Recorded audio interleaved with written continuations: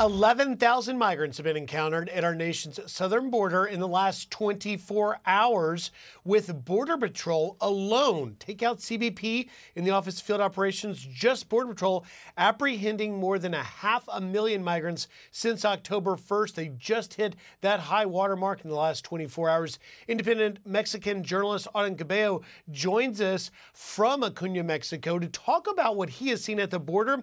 And some of our viewers, Auden, may have seen you and I this week there in Eagle Pass, and you can see the shots of the migrants continuing to come. In the week we were there, Auden, there were migrants from Russia, Iran, Morocco, Lebanon. Just in the last 24 hours, they're getting some Chinese. There were people from Tunisia, from Sudan, not just Venezuela, which is predominantly what's coming there. But you see you see it from the Mexican side. In Piedras, you're talking to the migrants. What what do Americans need to know about what migrants are telling you on the southern side of the border? What are we missing? Well, I think the biggest thing, and it's very obvious from the footage, is that this is very well organized and orchestrated because by just by design, every single day there's uh, hundreds, even thousands arriving to this border town in Piedras Negras. Uh, you seen the footage of them arriving on train. Um, there's also footage of me walking with them as they're walking to the shelter, same shelter that, that I've documented. Um, migrants are being provided GPS coordinates on how to get to that shelter. And then, like clockwork, every day they're escorted out uh, to the outskirts of town and directly to a crossing point at the Rio Grande River. And as soon as they cross, um, again, there's a footage of them going to the uh, Eagle Pass side and turning themselves into Border Patrol and being transported out. But I think the biggest point also that, that's being missed from the Mexican side is that there's no media coverage, uh, either at the local or state level uh, with all these caravans arriving in Piedras Negras. Um, if it wasn't for me and other uh, independent journalists covering this, I think the American public would not realize what's happening on the Mexican side. And um, one of those things that's driving the, the, the, Mexican media not to cover this is one, either they're complicit in it or because of the corruption they're being paid to keep shut. And, um, Auden, we're, we're, we're, looking live. I just want to show our viewers we're looking live here at a group of a few hundred that have just arrived in Eagle Pass and crossed under the port of entry there. They'll be processed by Border Patrol, Piedras Negras, that you're talking about, just on on the other side. And you can see the the organization that Border Patrol has had to try and put together because they're coming in such large numbers.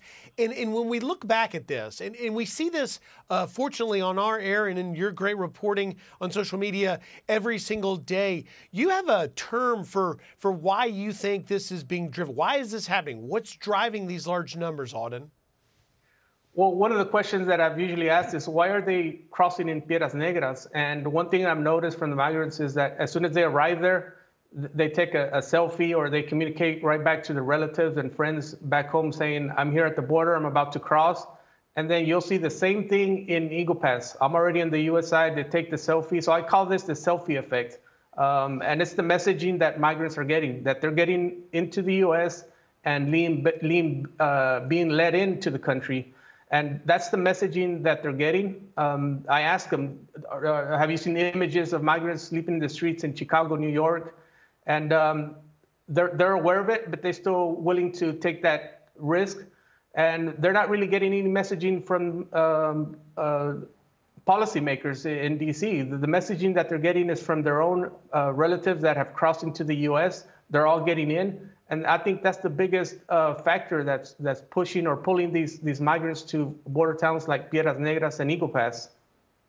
Auden, Secretary Mayorkas and the U.S. Senate didn't invite you for those talks. We know Mayorkas on the Hill for a few hours today, even in these border talks. But if they were to fly you up, sit you down, and let you advise them, what would be the number one thing you would advise lawmakers as they try and put together legislation to stop this?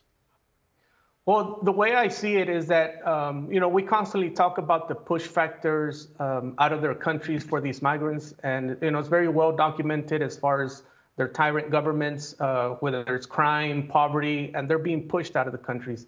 But right now, what's outweighing all this is the pull factors into the United States. There, there are just too many incentives for them to come to this country. And to me, it's very simple. Just reverse the process. Implement push factors out of the U.S. and pull factors into their country of origin or neighboring countries that will accept all these migrants back. Uh, eventually, they will have to self-deport if if the, there's no government handouts, if there's no CBP one, and um, and they're being returned. The deportations are a big factor. We saw that uh, two years ago with the Haitians. What stopped the flow here in Acuña and Del Rio was when um, the, there was immediate uh, flight deportations back to Haiti. And that's the biggest fear of migrants, uh, being deported back to their country of origin. Um, because again, two things about migrants. One, they're not going to remain in Mexico and they're not voluntarily going to go back to the country of origin. So if you stop those two, reverse the pull and push factors, I think that uh, will immediately end the um, mass uh, influx at the border.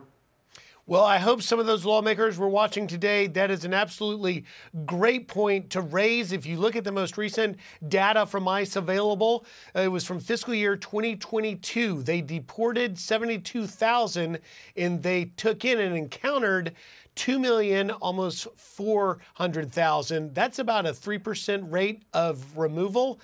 Hopefully that number may go up. We'll see. Auden Cabello joining us live from Acuna, Mexico. Auden, thank you very much. My pleasure. Thank you.